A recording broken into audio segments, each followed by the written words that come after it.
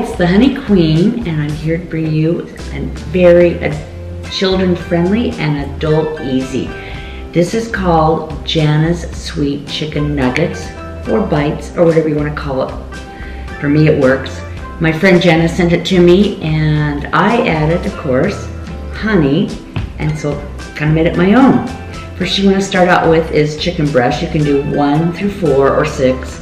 I just chose one because there's only two of us at home right now and you cube it into one inch squares. You will need a mixture of flour, about a half a cup, and a little bit of pepper and salt to your taste. And so I kind of made that little breaded right here. You could use for keto or other friendly almond flour, coconut flour, any of those things. You will need butter, a lemon, and of course the honey. So let's get started here. I've this and I'm going to bread it now. First step And I just drop it in, make it very simple. That's step one. Step two, we're going to melt our butter in our frying pan and cook it until it's browned. So let's head over there.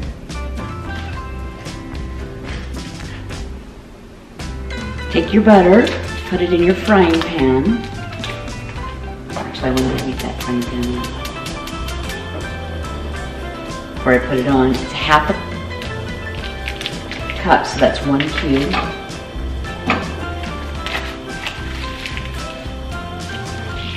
Butter is melted. I'm going to add my chicken and brown it.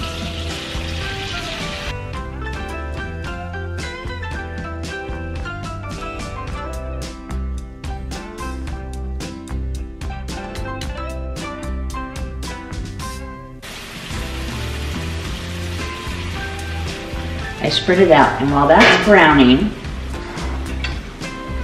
I want to do a fourth a cup of lemon and a fourth a cup of honey. Have it ready to pour in. And I use fresh squeezed.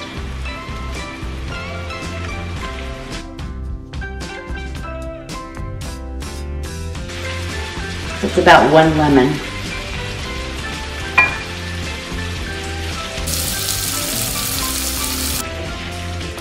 Turn it just one time and it starts browning.